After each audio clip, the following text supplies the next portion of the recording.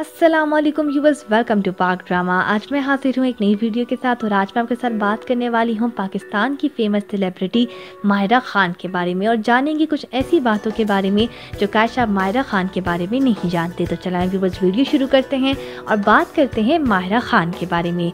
सबसे पहले व्यूवर्स हम बात करेंगे मायरा खान की कुछ पर्सनल लाइफ के बारे में। वैसे तो पूरी दुनिया मायरा का मुकम्मल नाम मायरा खान जानती है, पर असल में इनका मुकम्मल नाम मायरा हफीज़ खान है। मायरा खान खान की पैदाइश 21 दिसंबर 1984 को कराची में हुई और इनकी फैमिली में सिर्फ़ तीन ही मेंबर्स हैं। इनके भाई हसन खान, इनके बाबा हफीज़ खान और इनके बेटे अजलान अस्करी। मायरा खान की शादी हुई थी 2007 में और इनका डिवोर्स हुआ था 2015 में। मायरा खान के बाबा हफीज़ खान दिल्ली की पैदाइश रखते हैं और पार्टीशन के वक्त पाकिस्तान आ गए थे। मायरा खान का स्टार है सेगिटेरियस और इनकी हाइट है फाइव फुट सेवन इंच अब हम बात करते हैं मायरा खान की कुछ पर्सनल लाइफ के बारे में। का ताल्लुक उर्दू स्पीकिंग पठान फैमिली से है। मायरा खान के भाई हसन खान एक जर्नलिस्ट है और अपनी बहन से बहुत प्यार करते हैं। मायरा खान की ज़िंदगी की सबसे बड़ी भूल क्या थी जिसकी वजह से मायरा खान की पर्सनल लाइफ बहुत ज़्यादा असरअंदाज हुई?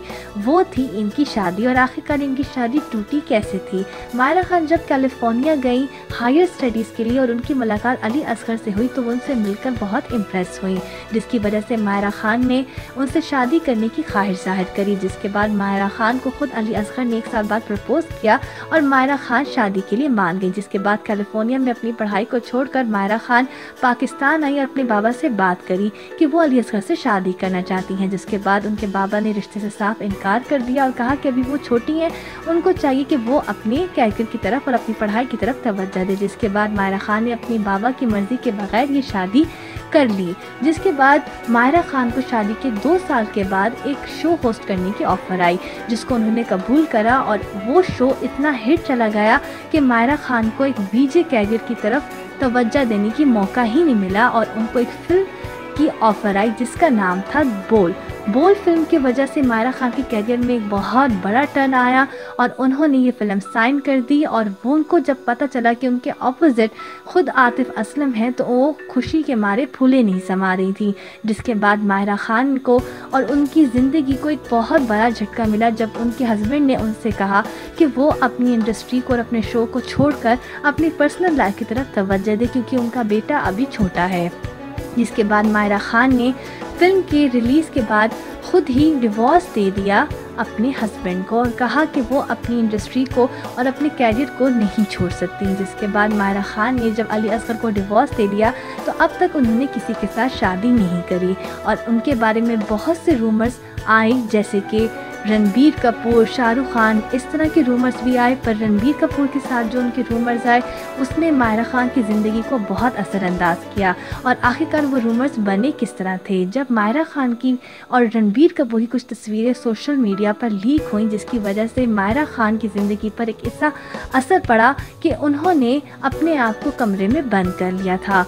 जी हाँ व्यूवर्स ये खुद बात उन्होंने ट्विटर में शेयर करी अकाउंट पर अपने और कहा कि वो इस तरह करना नहीं चाहती थी, पर उनके पास कोई भी रास्ता नहीं था, क्योंकि मीडिया पाकिस्तान और इंडिया की उनके पीछे हाथ धोकर पड़ गई थी, जिसकी वजह से मायरा खान ने चुप्पी साथ ली थी।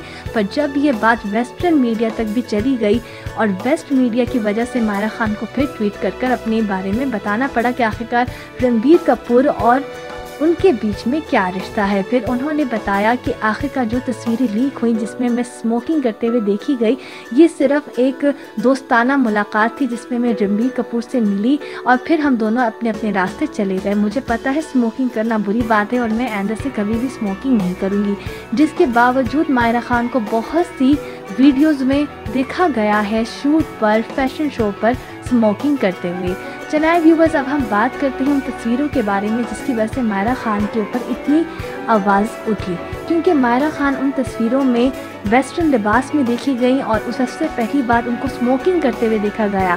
क्योंकि मायरा खान के फैंस उनको खिरत के रूप में कबूल कर चुके थे और वो समझते थे कि मायरा खान असल ज़िंदगी में बहुत सादा और मासूम है।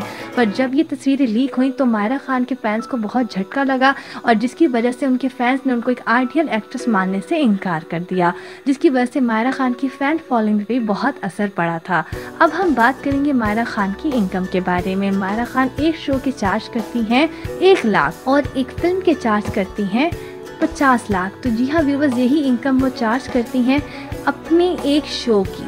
वैसे तो एक्ट्रेस को उनके अपेरेंस की और यानी कि कोई सोशल इवेंट अटेंड करने के भी पैसे दिए जाते हैं। तो इसका अंदाज़ा हम नहीं लगा सकते कि मायरा खान की पर मंथ इनकम कितनी है, पर अंदाज़न मायरा खान की इनकम इतनी ही है। तो अब हम बात करेंगे मायरा खान के कुछ हिट प्रोजेक्ट्स के बारे में। जब मायरा खान ने अपनी ज़िंदगी की सबसे हिट फ़िल्म बोल करी और इसके बाद कहीं प्रोजेक्ट्स करे, पर मायरा खान का सबसे हिट प्रोजेक्ट हम सफ़र आज भी लोगों के दिलों में ज़िंदा है। और आज भी ये प्रोजेक्ट मायरा खान का सबसे हिट प्रोजेक्ट हम कह सकते हैं, क्योंकि हम सफ़र की वजह से ही मायरा खान आज इतनी हिट हैं कि वो बॉलीवुड तक में जाकर काम कर चुकी हैं। और पाकिस्तान की जालमा आज पूरी दुनिया में फ़ेमस है, यानी कि मायरा खान। पर मायरा खान का सबसे फ़र्स्ट प्रोजेक्ट यानी कि हम सफ़र कोई भी नहीं भुला सकता। यही वो वजह है जिसकी वजह से मायरा खान के फैंस आज भी उनके पीछे दीवाने हैं। आज के लिए व्यूवर्स इतना ही, और अगर आपको कोई मायरा खान का ड्रामा पसंद हो तो हमें कमेंट करके ज़रूर बताएँ, ताकि हमें भी पता चले कि आखिरकार मायरा खान का सबसे हिट ड्रामा कौन सा है जो आपको पसंद है। और अगर आपको ये वीडियो पसंद आई हो तो वीडियो को शेयर और लाइक करना, और कमेंट करना और चैनल को सब्सक्राइब करना ना भूलें। अल्लाह हाफिज़।